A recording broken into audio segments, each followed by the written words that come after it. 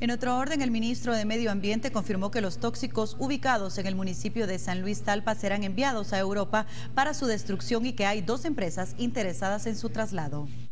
Hay dos empresas eh, interesadas en ofrecer estos servicios. ¿Ya dieron alguna fecha a tope, ministro, para poder remover estos tóxicos?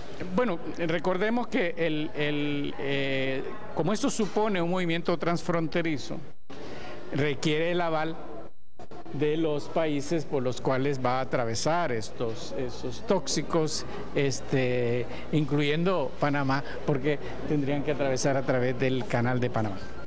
Germán Rosa Chávez dijo también que el Fondo de Saneamiento y Fortalecimiento Financiero FOSAFI está por definir el proceso del traslado.